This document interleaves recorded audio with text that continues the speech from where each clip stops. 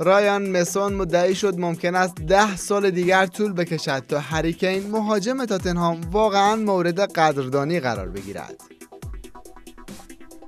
هریکین مایل از فصل آینده هم در تاتنهام بماند و قراردادش را با این باشگاه به پایان برساند. آرتور ملو که تابستان امسال به تورین باز میگردد تبدیل به مرد فراموش شده لیورپول شده است. جذب دکلان رای ستاره وست هام جدی ترین هدف نقل و انتقالاتی آرتتا و مدیران آرسنال در تابستان خواهد بود.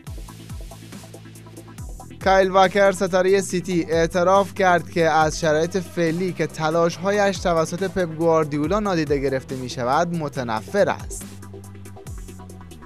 ادن ترزیچ سرمربی دورتموند در پایان بازی با بخوم تاکید کرد که داور دو پنالتی واضح را برای تیمش نگرفته است.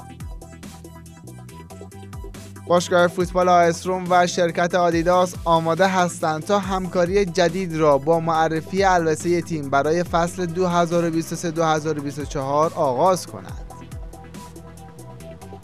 الیور کان نایب رئیس بایر مونیخ می‌گوید تمرکز فعلی شاگردان توماس توخل روی قهرمانی در بوندسلیگا معطوف شده است.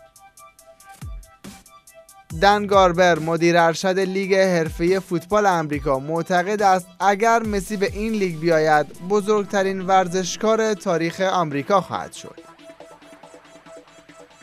و اینکه کریستوف گالتیه تایید کرد که سرجیو راموس در حال مذاکره با پاریس سن است تا قراردادش با این تیم را تمدید کند.